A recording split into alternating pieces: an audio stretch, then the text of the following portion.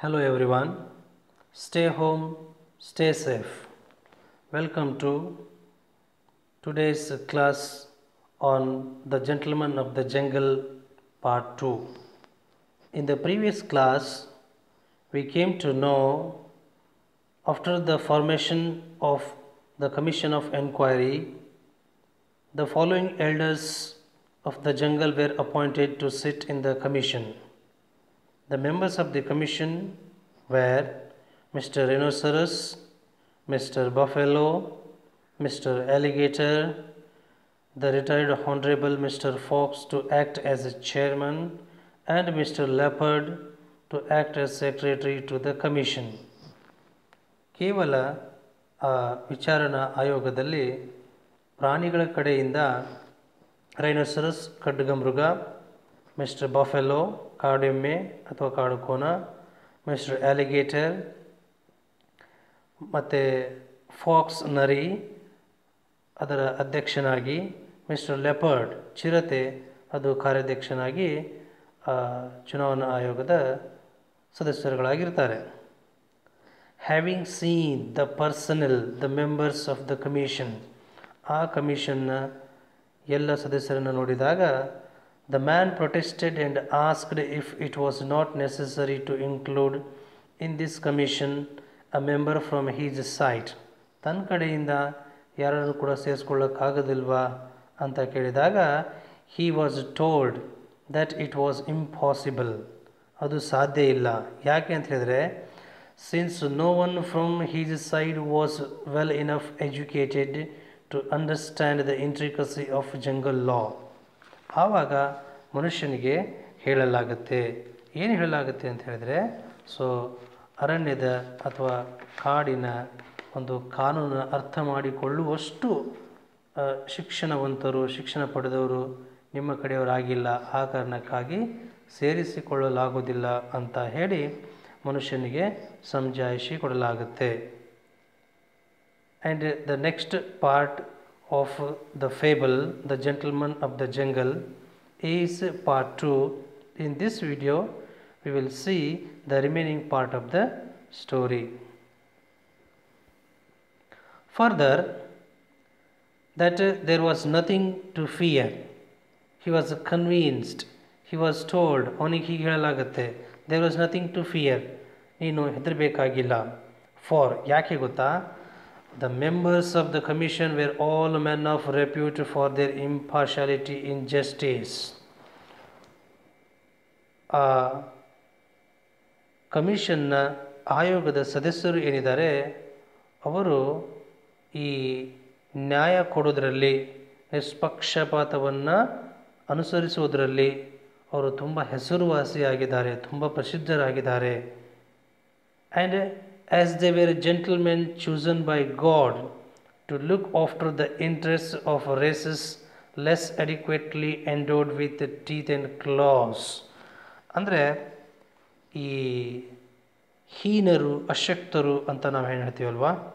So those people who sorry those people who are incapable and the people who are incompetent competent so to look after such people these members of the commission are chosen by God. ನೋಡಿ, ಹೋರಾಟ ಮಾಡದೆ ಅಶಕ್ತರಾಗಿರುವಂತಹ ಜನಾಂಗದವರನ್ನು ನೋಡಿಕೊಳ್ಳುವ ಸಲುವಾಗಿಯೇ ದೇವರಿಂದ ಆಯ್ಕೆ ಮಾಡಲ್ಪಟ್ಟಂತಹ ಸಭ್ಯಸ್ಥರು ಇವರು ಅಂತ ಹೇಳಿ ಮನುಷ್ಯನಿಗೆ ಹೇಳಲಾಗುತ್ತೆ. ಹಿ ಮೈಟ್ ರೆಸ್ಟ್ ಅಶ್ಯೂರ್ಡ್ ಅವನು ಭರವಸೆಯಿಂದಿರಬೇಕು. That they would investigate the matter with the greatest care and report impartially ಅವರು ಅತಿ ಹೆಚ್ಚಿನ ಕಾಳಜಿಯಿಂದ ಈ ವಿಷಯವನ್ನು ತನಿಖೆ ಮಾಡ್ತಾರೆ, ವಿಚಾರಣೆಯನ್ನು ಮಾಡ್ತಾರೆ ಮತ್ತು ನಿಷ್ಪಕ್ಷಪಾತವಾಗಿ ಅದರ ವರದಿಯನ್ನು ಮಾಡ್ತಾರೆ ಅಂತ ಹೇಳಿ ಮನುಷ್ಯನಿಗೆ ಹೇಳಲಾಗುತ್ತೆ. The commission sat to take the evidence ವಿಚಾರಣಾ ಆಯೋಗ ಹಾಜರಾಗಿಬಿಟ್ಟು ಇಬ್ಬರ ಕಡೆಯಿಂದಲೂ ಕೂಡ ಸಾಕ್ಷ್ಯಾಧಾರಗಳನ್ನು ಸಂಗ್ರಹಿಸಲಿಕ್ಕೆ ಪ್ರಾರಂಭ ಮಾಡುತ್ತೆ, ತೆಗೆದುಕೊಳ್ಳೋದಕ್ಕೆ ಪ್ರಾರಂಭ ಮಾಡುತ್ತೆ. The retired honourable Mr Elephant was the first called ಮೊದಲನೆಯ ಅವಕಾಶ ಆನೆಗೆ ನೀಡಲಾಗುತ್ತೆ. He came along with a superior air superior air means with a noble look with a superior look he came along with a superior air with a superior look brushing his tusks with a sapling which mrs elephant had provided so rubbing his tusks with a sapling which mrs elephant had provided Mrs Elephant ಕೊಟ್ಟಂತಹ ಒಂದು ಸಸಿಯನ್ನು ತನ್ನ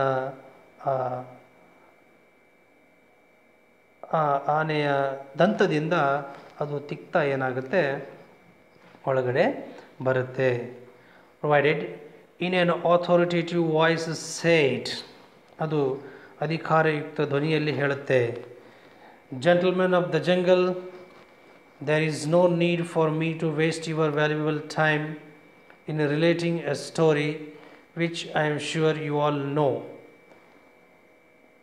ಕಾಡಿನ ಸಭ್ಯಸ್ಥರೇ ನಿಮಗೆಲ್ಲ ತಿಳಿದಿರುವ ಆ ಕಥೆಯನ್ನು ಮತ್ತೆ ನಾನು ಹೇಳಿಬಿಟ್ಟು ನಿಮ್ಮೆಲ್ಲರ ಸಮಯವನ್ನು ವ್ಯಾಲ್ಯೂಯಬಲ್ ಸಮಯವನ್ನು ನಾನು ಹಾಳು ಮಾಡಲಿಕ್ಕೆ ಹೋಗೋದಿಲ್ಲ I have always regarded it as my duty to protect the interest of my friends ನನ್ನ ಗೆಳೆಯರ ಹಿತವನ್ನು ಕಾಪಾಡೋದು ನನ್ನ ಆದ್ಯ ಕರ್ತವ್ಯ ಅಂತ ನಾನು ಅಂದ್ಕೊಂಡಿದ್ದೇನೆ ಹಾಗೆ ಪರಿಗಣಿಸ್ತೇನೆ. And this appears to have caused misunderstanding between myself and my friend here ನಾನು ನನ್ನ ಗೆಳೆಯನ ಹಿತವನ್ನು ಕಾಪಾಡುವಂತಹ ನನ್ನ ಕರ್ತವ್ಯ ಏನಿದೆಯೋ, ಅದೇ ನಾನು ಮತ್ತು ನನ್ನ ಗೆಳೆಯ ಇವನ ಮಧ್ಯೆ ಮಿಸ್ಅಂಡರ್ಸ್ಟ್ಯಾಂಡಿಂಗ್ ತಪ್ಪು ತಿಳುವಳಿಕೆಗೆ ಕಾರಣ ಆಗಿದೆ ಅಂತ ನನಗೆ ಅನ್ನಿಸ್ತಾ ಇದೆ ಅಂತ ಆನೆ ಹೇಳುತ್ತೆ. ಹೀ ಮತ್ತೆ ಮುಂದುವರೆದು ಹೇಳ್ತಾನೆ just observe how nicely how nicely elephant is trying to cheat, exploit the innocence of the man. Even the gentlemen of the jungle, the members of the commission, join elephant. Okay, let's see how it is. He continues the story. He invited me to save his hut from being blown away by a hurricane. ಈ ಹರಿಕೇನಿಂದ ಈ ಒಂದು ಸುಂಟರ ಗಾಳಿಯಿಂದ ಬಿರುಗಾಳಿಯಿಂದ ತನ್ನ ಗುಡಿಸಲನ್ನು ರಕ್ಷಣೆ ಮಾಡುವ ಸಲುವಾಗಿ ಅವನು ನನ್ನನ್ನು ಕರೆದಿದ್ದ ನನ್ನನ್ನು ಆಮಂತ್ರಿಸಿದ್ದ I okay As the hurricane had gained access owing to the unoccupied space in the hut, I considered it necessary, in my friend's own interest, to turn the undeveloped space to a more economic use by sitting in it myself. ಹೇಳ್ತಾನೆ as the hurricane had gained access owing to the unoccupied space in the hut ಗುಡಿಸಲಲ್ಲಿ ಅತಿಕ್ರಮಣ ಮಾಡದೇ ಇರುವಂತಹ ಜಾಗ, ಖಾಲಿ ಇರುವಂತಹ ಜಾಗ ಇರುವುದರಿಂದ ಸುಂಟರ ಗಾಳಿ ಅದರ ಒಳಗೆ ಪ್ರವೇಶ ಮಾಡಿದಂತೆ. ಮಾಡಿದಾಗ ಐ ಕನ್ಸಿಡರ್ ಇಟ್ ನೆಸಸರಿ ನಾನು ಆವಾಗ ಇದನ್ನು ಪರಿಗಣಿಸಿದೆ. In my friend's own interest ನನ್ನ ಗೆಳೆಯನ ಹಿತಕ್ಕಾಗಿ, ಹಿತದೃಷ್ಟಿಯಿಂದ. To turn the undeveloped space to a more economic use by setting in it myself ಅಂದರೆ ಗುಡಿಸಲಲ್ಲಿ ಮನುಷ್ಯ ಮಾತ್ರ ಕೂತ್ಕೊಂಡು ಅವನ ಪಕ್ಕದಲ್ಲಿ ಖಾಲಿ ಜಾಗ ಉಳ್ಕೊಂಡ್ಬಿಟ್ರೆ ಬಿರುಗಾಳಿ ಒಳಗಡೆ ಬಂದುಬಿಟ್ಟು ಖಾಲಿ ಜಾಗ ತುಂಬ್ಕೊಂಡು ಏನು ಮಾಡುತ್ತೆ? ಬಿರುಗಾಳಿಯನ್ನು, ಬಿರುಗಾಳಿ ಗುಡಿಸಲನ್ನು ಹಾರಿಸ್ಕೊಂಡು ಹೋಗ್ಬಿಡುತ್ತೆ, ತೂರ್ಕೊಂಡು ಹೋಗ್ಬಿಡುತ್ತೆ ಅಂತ ಹೇಳಿಬಿಟ್ಟು ಖಾಲಿ ಇರು ಜಾಗದ ಒಂದು ಸದುಪಯೋಗ, ಮಿತವ್ಯಯವಾದ ಬಳಕೆಯನ್ನು ನಾನು ಮಾಡಿಕೊಂಡಿದ್ದೇನೆ. Duty which any one of you would undoubtedly have performed with equal readiness in similar circumstances. ಇದು ನನ್ನ ಆದ್ಯ ಕರ್ತವ್ಯ. ನನ್ನ ಗೆಳೆಯನ ಗುಡಿಸಲಲ್ಲಿ ಖಾಲಿ ಜಾಗ ಇದ್ಬಿಟ್ಟು, ಅಲ್ಲಿ ಬಿರುಗಾಳಿಯ ಗಾಳಿ ತುಂಬ್ಕೊಂಡ್ಬಿಟ್ಟು, ಆ ಗುಡಿಸಲು ಅಲ್ಲಿಂದ ಹಾರಿ ಹೋಗುತ್ತೆ, ತೂರಿ ಹೋಗುತ್ತೆ ಅಂತ ಗೊತ್ತಾದಾಗಲೂ ಕೂಡ ನಾನು ಅದನ್ನು ಪರಿಗಣಿಸಿ, ನಾನು ಆ ಖಾಲಿ ಜಾಗವನ್ನು ಮಿತವ್ಯಯವಾಗಿ ಅದರ ಸದ್ಬಳಕೆಯನ್ನು ನಾನು ಮಾಡಿಕೊಂಡಿದ್ದೇನೆ. ಈ ನನ್ನ ಕರ್ತವ್ಯ ನಾನಲ್ಲ ಅಂತಹ ಸಂದರ್ಭದಲ್ಲಿ ಯಾರೊಬ್ಬರು, ನಿಮ್ಮಲ್ಲಿ ಯಾರೊಬ್ಬರಾಗಿದ್ದರೂ ಕೂಡ ನೀವು ಕೂಡ ಅದನ್ನೇ ಮಾಡ್ತಾ ಇದ್ರಿ ಅಂತ ಹೇಳಿ ಅಲ್ಫೆಂಟ್ ಏನು ಮಾಡುತ್ತೆ? ಮೆಂಬರ್ಸ್ ಆಫ್ ದಿ ಕಮಿಷನ್ ಮುಂದೆ ಈ ರೀತಿಯಾಗಿ ಹೇಳುತ್ತೆ. After hearing the retired honourable Mr Elephant's conclusive evidence.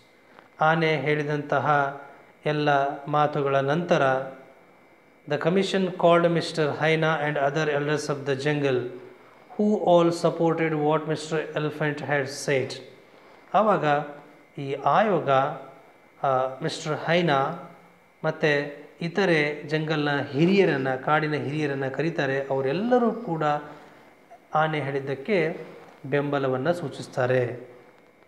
They sorry they then call the man ಆವಾಗ ಅವರು ಮನುಷ್ಯನನ್ನು ಕರೀತಾರೆ who began to give his own account of the dispute but the commission cut him short saying ಮನುಷ್ಯನ ಕರಿತಿದ್ದ ಹಾಗೆಯೇ ಅವನು ಬಹುಶಃ ನನಗೆ ಅವಕಾಶ ಕೊಟ್ಟರು ಈಗ ನನ್ನ ಸರ್ಜಿ ಅಂತ ತಿಳ್ಕೊಂಡ್ಬಿಟ್ಟು ಅವನು ಹೇಳಲಿಕ್ಕೆ ಪ್ರಾರಂಭ ಮಾಡ್ತಾನೆ. ಈ ಒಂದು ಘಟನೆಯ ಬಗ್ಗೆ, ಆ ಒಂದು ಸಮಸ್ಯೆ ಬಗ್ಗೆ ಹೇಳಲಿಕ್ಕೆ ಪ್ರಾರಂಭ ಮಾಡ್ತಾನೆ. But the commission cut him short saying ಅವಾಗ ಅವನಿಗೆ ಈ ರೀತಿಯಾಗಿ ಹೇಳ್ತಾ ಅವನ ಮಾತುಗಳನ್ನು ನಿಲ್ಲಿಸಿ ಬಿಡ್ತಾರೆ ಅವನು ಮಾತನಾಡಲಿಕ್ಕೆ ಅವಕಾಶವನ್ನು ಕೊಡೋದಿಲ್ಲ. ಏನು ಹೇಳ್ತಾರೆ ಕಮಿಷನ್ ಅಂತ ಹೇಳಿದ್ರೆ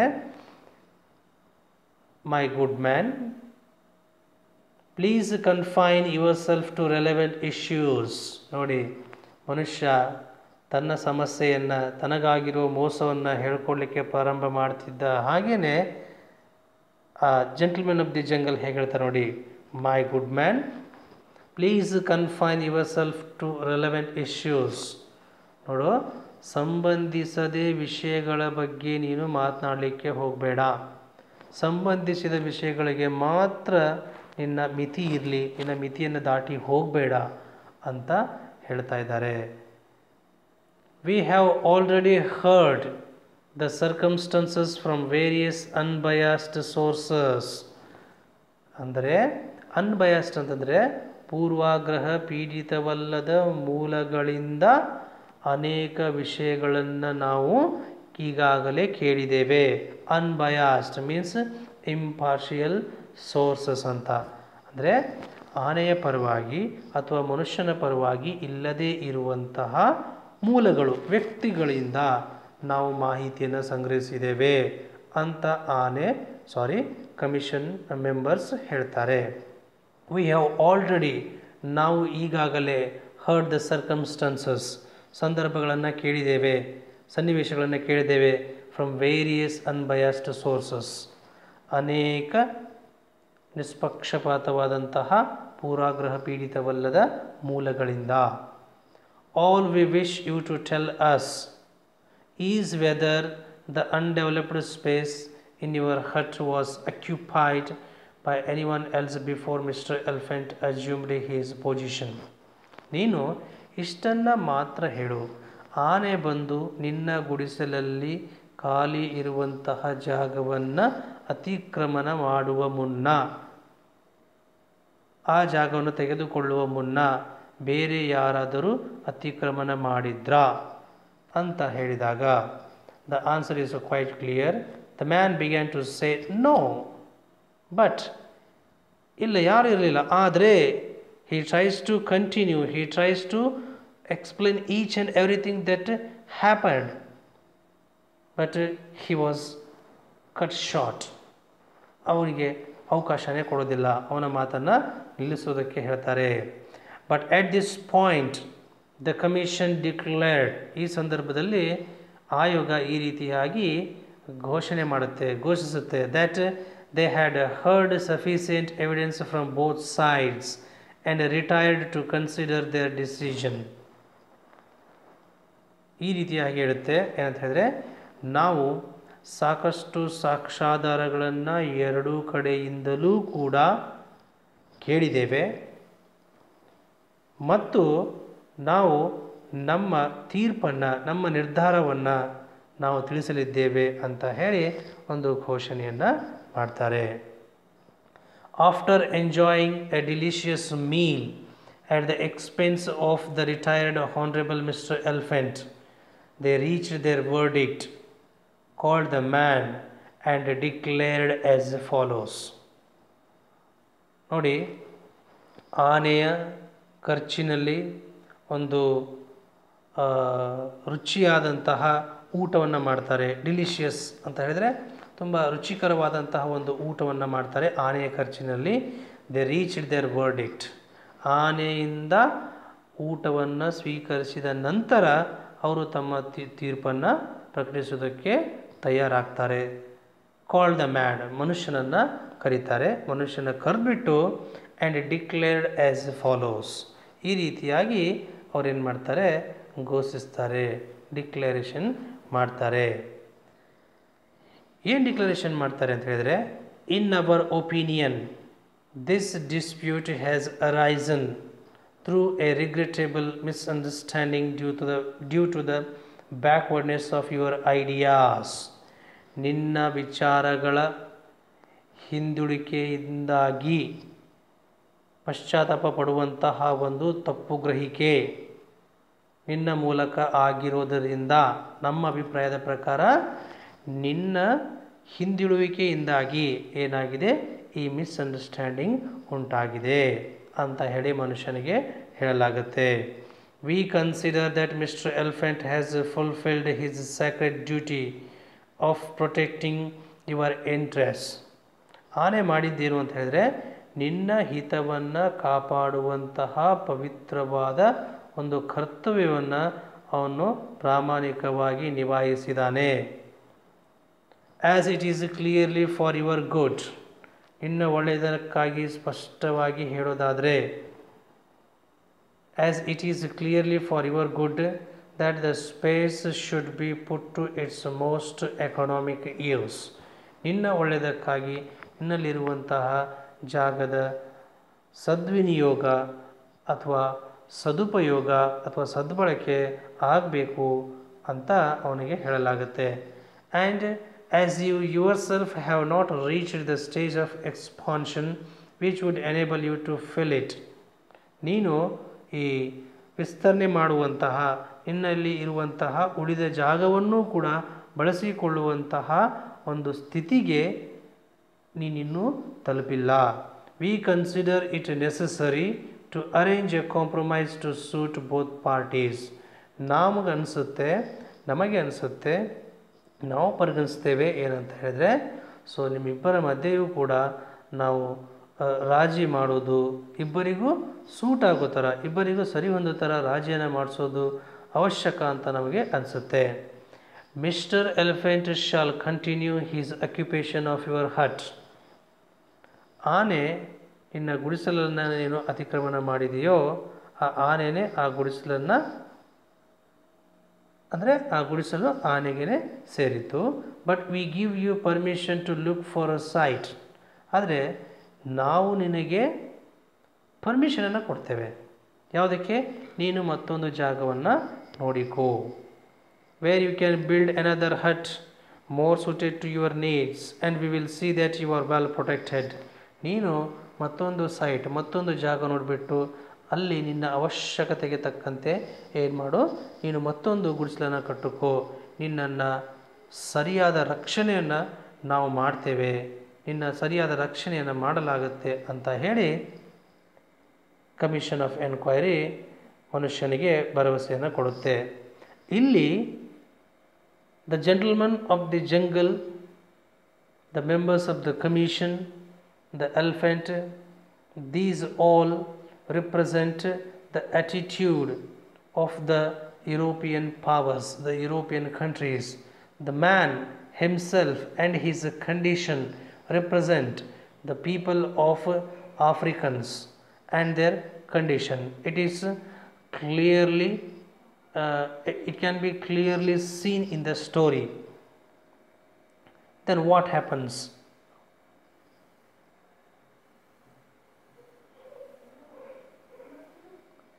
The man, when he was asked to find a new site and build his own or, or build a hut most suited to his needs. Okay, the man having no alternative ಮನುಷ್ಯನಿಗೆ ಪರ್ಯಾಯ ಮಾರ್ಗ ಇರಲಿಲ್ಲ ಮನುಷ್ಯನಿಗೆ ಅದು ಅನಿವಾರ್ಯ ಆಗಿಬಿಡುತ್ತೆ. ಬದಲಿ ವ್ಯವಸ್ಥೆ ಇರೋದಿಲ್ಲ. ಆ್ಯಂಡ್ ಫಿಯರಿಂಗ್ ಮತ್ತು ಭಯ ಇರುತ್ತೆ. That his refusal might expose him to the teeth and claws of the members of the commission. ತಾನೇನಾದರೂ ಈ ವಿಚಾರಣಾ ಆಯೋಗ ಕೊಟ್ಟಂತಹ ತೀರ್ಪನ್ನು, ಸಲಹೆಯನ್ನು ವಿರೋಧಿಸಿದರೆ ಅವನ ತಿರಸ್ಕಾರ ಆ ಆಯೋಗದ ಸದಸ್ಯರ ಕೆಂಗನ್ನಿಗೆ ಗುರಿಯಾಗ್ಬೋದು ಅಂತ ಹೇಳಿ ಅವನಿಗೆ ಭಯ ಇರುತ್ತೆ. ಡಿಡ್ ಆ್ಯಸ್ ದೆ ಸಜೆಸ್ಟೆಡ್ ಅವರು ಹೇಳಿದ ಹಾಗೆಯೇ ಅವರು ಸಲಹೆ ಕೊಟ್ಟ ಹಾಗೆಯೇ ಮಾಡ್ತಾನೆ. But no sooner had he built another hut than Mr Rhinoceros charged in with his horn lowered and ordered the man to quit ನೋಡಿ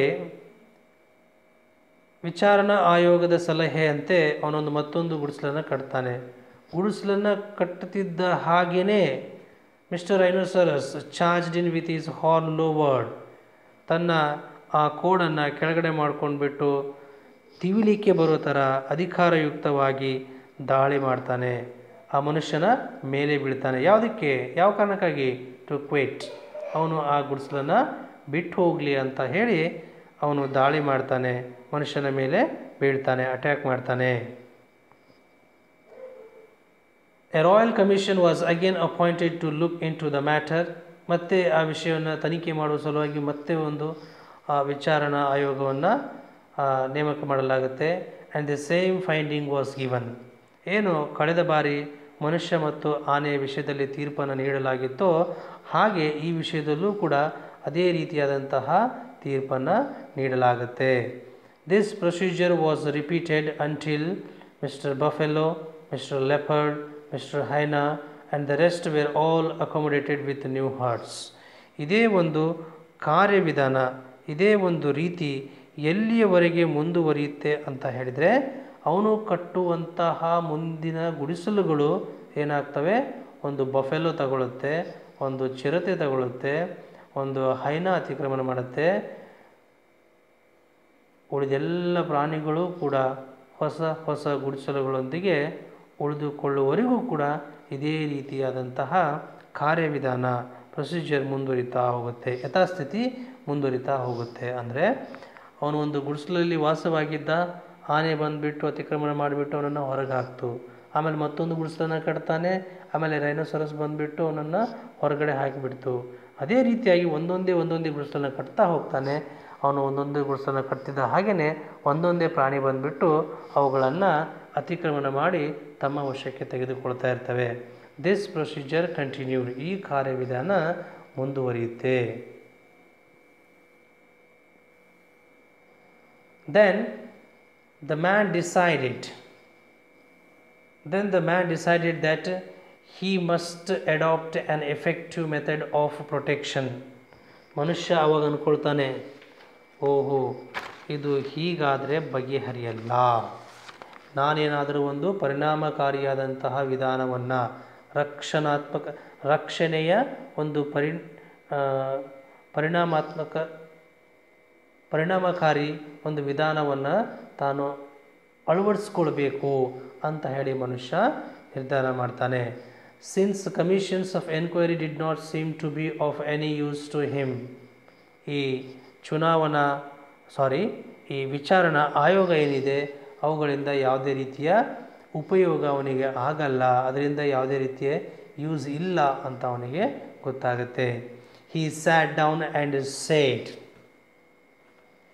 ಅವನು ಕುಳಿತುಕೊಂಡ್ಬಿಟ್ಟು ಹೇಳ್ತಾನೆ it's an African phrase a phrase in an African language African ಲ್ಯಾಂಗ್ವೇಜಲ್ಲಿನ ಒಂದು phrase ಆಗಿದೆ which literally means ಅದರ ಅರ್ಥ ಏನು ಅಂತ ಹೇಳಿದರೆ there is nothing that treads on the earth that cannot be trapped ಭೂಮಿಯ ಮೇಲೆ ನಡೆದಾಡುವಂತಹ, ನಡೆದಾಡುವಂಥದ್ದು ಯಾವುದೂ ಇಲ್ಲ, ಅದು ಬಲೆಗೆ ಸಿಕ್ಕಾಕೊಳ್ಳದೆ ಇರುವಂಥದ್ದು.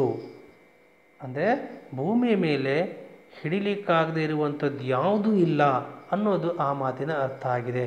It means nothing is impossible and everything is possible ಎಲ್ಲವೂ ಸಾಧ್ಯ.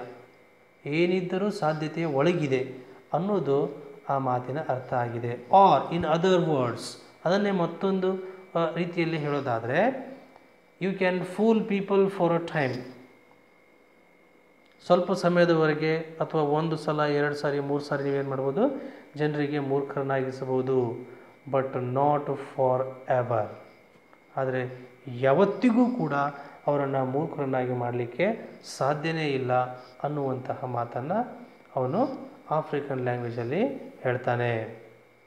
ಅರ್ಲಿ ಒನ್ ಮಾರ್ನಿಂಗ್ ಒಂದು ದಿನ ಮುಂಜಾನೆ ಬೇಗ when the huts already occupied by the jungle lords were all beginning to decay and fall to pieces ಅಂದರೆ ಮನುಷ್ಯ ಈಗಾಗಲೇ ಕಟ್ಟಿದಂತಹ ಗುಡಿಸಲುಗಳು ಏನು ಜಂಗಲ್ ಲಾಡ್ಸಿಂದ